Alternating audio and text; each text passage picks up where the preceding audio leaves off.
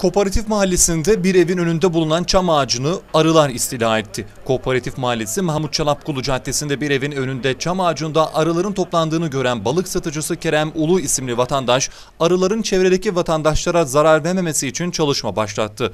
Ağacın üstünde toplanan arılara ulaşmak kolay olmayınca devreye itfaiye ekipleri girdi.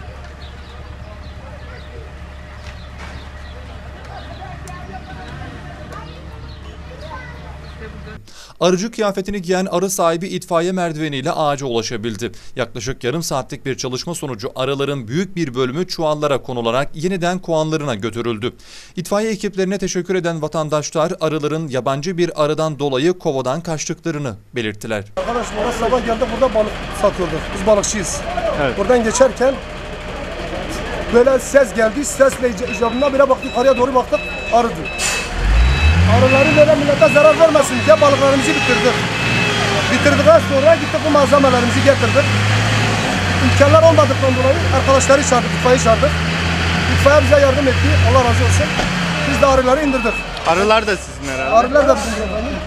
Millete zarar vermesin diye elimizden gelen. Ya bir tane ay- yabancı arı vardı. Buraya yerleşmiş biz de toplama milleti sokması için. Milleti sokmaması için toplamaya gelmişiz. Etfaiye arkadaşlar çağırdık. Onlara çok çok teşekkür ederim. Çok çok teşekkür ederim. Parça. Böyle şekil Şöyle şekil olur.